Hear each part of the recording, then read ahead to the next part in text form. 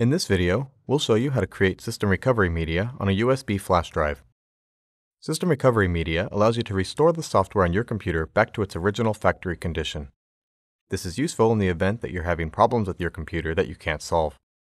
Performing a system recovery will solve software-related problems. If a problem persists after performing a system recovery, the computer may need servicing. Toshiba recommends you keep at least one set of recovery media to use in case of an emergency. You can create system recovery media on a USB flash drive using the Toshiba Recovery Media Creator utility.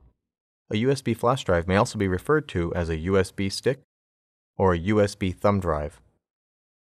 An external USB hard drive cannot be used. You can also create system recovery media using DVDs. This is discussed in another video.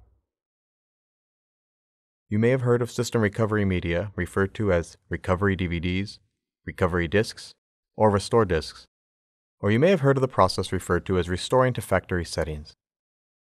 Don't confuse system recovery with system restore. They're separate processes, and this video is only about system recovery. During system recovery, you lose all data and programs that are not pre-installed at the factory. This includes applications you installed yourself, photos, documents, and anything else that was added to the computer. Don't worry, your data is only lost when you perform the system recovery.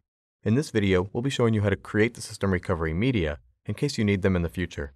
Simply creating system recovery media will not cause you to lose any data. Now, let's create the system recovery media for your computer. To open the Toshiba Recovery Media Creator, start typing Recovery Media Creator at the start screen. Select Recovery Media Creator from the options presented to you. Toshiba Recovery Media Creator, or something similar, may be listed instead. Select Yes when the dialog box appears. Selecting No will exit the program. Toshiba Recovery Media Creator will open. Under Media Selection, System Recovery Media should be checked by default. If it isn't checked, place a checkmark in the box.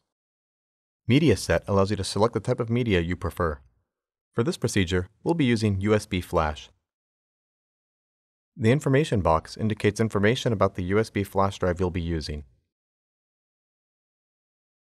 Ensure the Verify box in the lower left is checked, which it should be by default. This option will ensure the USB flash drive is in good working order when completed. Select Create near the bottom right to start.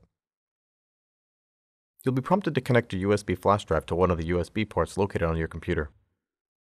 Connect the USB flash drive and select the OK button on the prompt that looks like this. Windows may display a toast notification that looks like this when you connect the USB flash drive. If you see it, you may simply ignore it. It'll disappear after a few seconds. During the next step, the USB flash drive will be formatted before the system recovery media is written. This means all files in the USB flash drive will be erased. Ensure you've saved any files you need to keep before performing the system recovery media creation. Select OK to continue. The status will indicate recording while the recovery media is being created. The current media bar displays the recording progress of the connected USB flash drive. Total progress displays the progress of the recovery media creation process as a whole. After the recording is complete, the USB flash drive will be verified, and verifying will be displayed under Status and Information. After the USB flash drive is recorded and verified, system recovery media creation will be complete. It's important to label the USB flash drive for later use as recovery media. You now have recovery media on a USB flash drive to use if you need to recover your computer to factory default conditions. For more information, visit support.toshiba.com.